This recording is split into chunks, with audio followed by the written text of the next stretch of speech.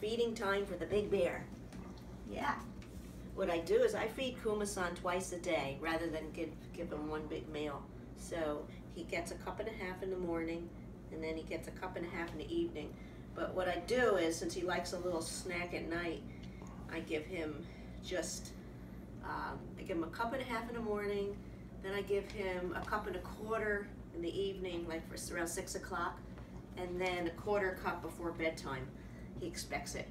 And um, he normally eats like 12 and 5, 12 and 6. So I put the dry kibble in, and then I boil some water right over here. It takes like no time to boil the water with that. Pour a little bit in. It makes a yummy savory gravy. I don't know if you can see it. I've done it already because I can't give him the food when it's real hot, so I let it cool off.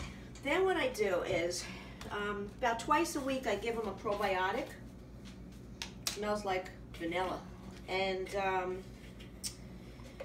I give twice. Since I feed him twice a day, I just give him half. I sprinkle it in when his kibble has cooled off because I don't want it to not work. The probiotic works, you know, it has to be cool, the food, the food. Then I mix that up. And then once in a while, I was getting into the habit of giving him this kelp.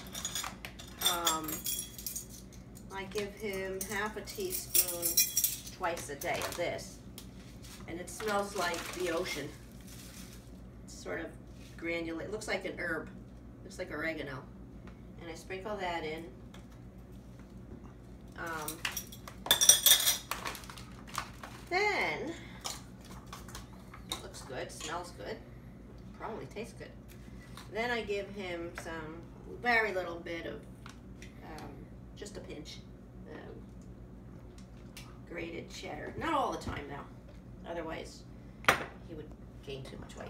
And then same thing with the rice. I give him a little bit of rice, white rice. This happens to be jasmine, but I make different kinds. But he never gets brown rice. So that's what it looks like. Looks good. And mm, smells good too. uh, all right, Kumi, we ready? Should we go eat? What do you think? What do you think? We ready? And sometimes he's just like I notice in the summertime, he or when the weather starts to get warm, he doesn't have as much of an appetite. So if he doesn't finish his food, I just cover it with one of these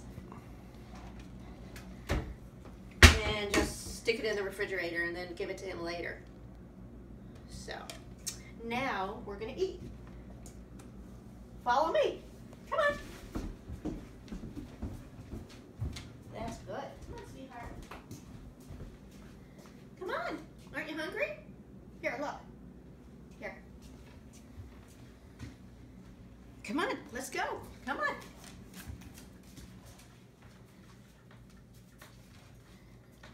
To sit.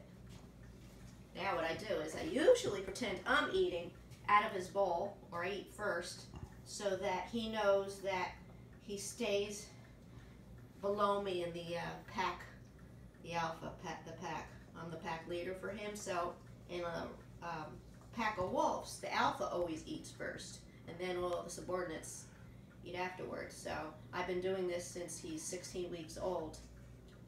That's delicious. He has no idea what I'm saying. or just pretend I'm eating.